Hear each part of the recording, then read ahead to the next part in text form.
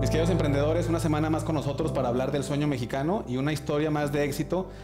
Es alguien que yo conozco desde hace mucho tiempo, en la sociedad tapatía es muy conocido, ha sido, es emprendedor, ha tenido muchos emprendimientos muy famosos, es un experto en relaciones públicas y creo que ha llegado a ser el, el relacionista más importante en Guadalajara.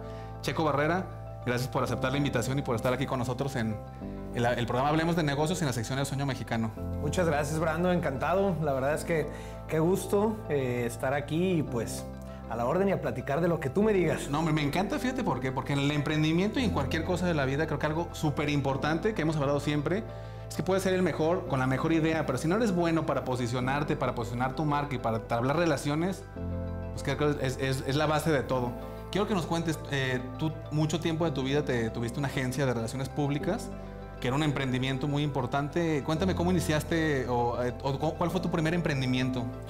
Bueno, mi primer emprendimiento fue mucho antes, este, bastante chavo. Empezamos ahora sí que vendiendo botiquines de casa en casa con la empresa de un amigo que vendían eso y la verdad es que siempre tuve esa cosquillita de, de hacer algo, ¿no? De generar y estar haciendo algo, ser activo. Pero el tema de las relaciones públicas empecé porque eh, hubo un, un auge muy grande a nivel nacional, sobre todo en la Ciudad de México, donde las marcas empezaron a voltear a ver eh, cómo posicionar sus productos con un mercado meta y muy dirigido. Todo esto previo a que existieran las redes sociales y demás. Era un tema como más personal. Y personas de México pues empezaron a preguntar que con quién trabajaban en otras ciudades. Entonces se acercaron aquí a Guadalajara y pues mucha gente les dijo, no, pues con Checo, con Checo, con Checo. Llegaron conmigo, los conocí, me platicaron y me dijeron de qué se trataba y pues se trataba de, te damos un presupuesto, haces un evento muy grande, eh, invitas a toda la gente que conoces y vas a una fiesta padrísima. Pues yo tenía 19 años, imagínate que te dicen eso, pues ahora sí que es como ganarte la lotería, ¿no? Entonces empecé chambeando y algo que para mucha gente era pues un tema de diversión, pues para mí sí era diversión, pero era trabajo.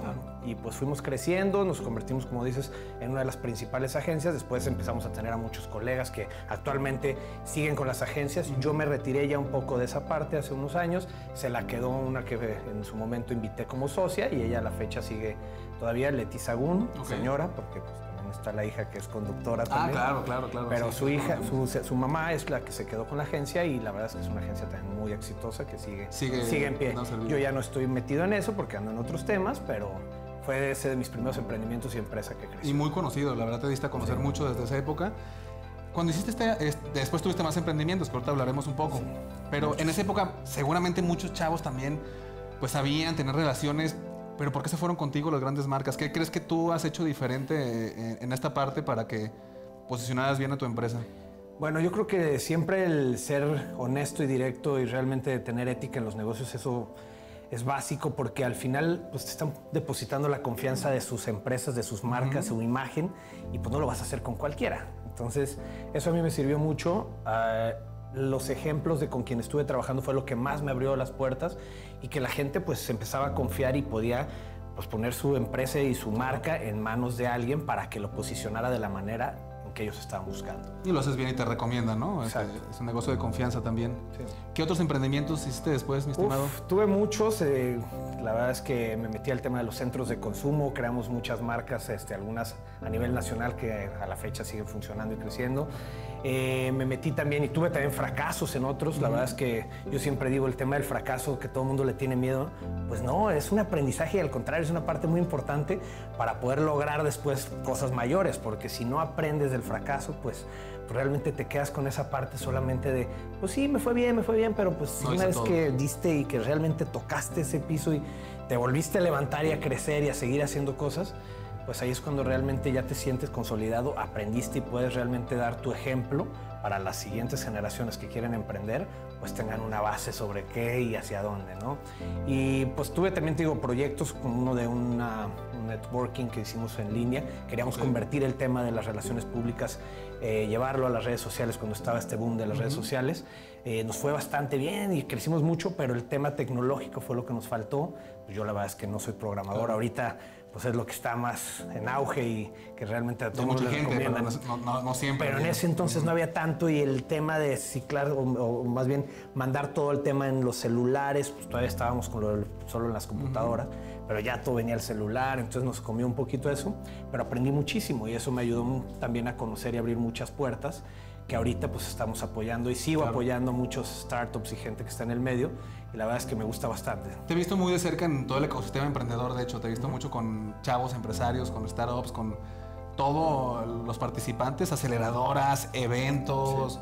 ¿Te gusta mucho este tema también de apoyo a los emprendedores? Me encanta. Yo toda la vida, desde que empecé en el tema de la chamba, siempre he sido muy de pues dar a conocer cuál ha sido mi trayectoria, qué es lo que he hecho bien, lo que he hecho mal y compartir ese conocimiento, esas, eh, pues cuando has fracasado, cuando te ha ido muy bien en algún negocio, el por qué sí o por qué no, qué hiciste bien, qué hiciste mal y para que la gente pues pueda tener un ejemplo y cuiden el enfoque hacia lo que quieren hacer y dónde no deben de caer. Entonces me encanta, la verdad es que yo siempre le he dicho a toda la gente pues, que tengo las puertas abiertas, pues ahora con las redes sociales todo el mundo te puede contactar y puede ¿Podemos poner tus redes? Claro, arroba checo van a aparecer en todos lados me pueden contactar y encantado de recibir para consejos, para platicar, si tienen alguna duda. La verdad es que a todo mundo le contesto y con todo mundo platico y me encanta recibir. ¿Tú manejas tus redes, todo? Sí, en gran parte sí, tengo un apoyo, pues que ahora en el trabajo en el que estoy, pues necesito y tengo mucho más actividad.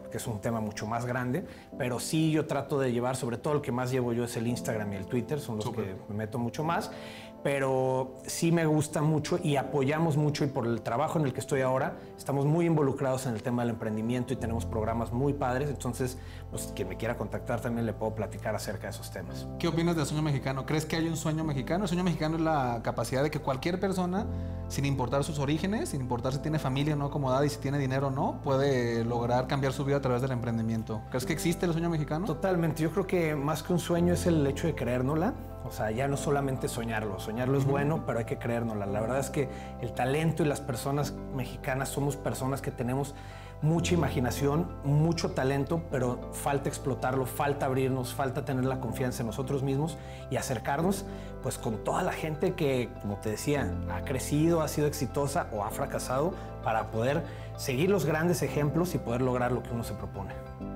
Has hablado con muchos emprendedores y empresarios a lo largo de tu vida. ¿Qué cualidades crees que son las más importantes que debería de tener?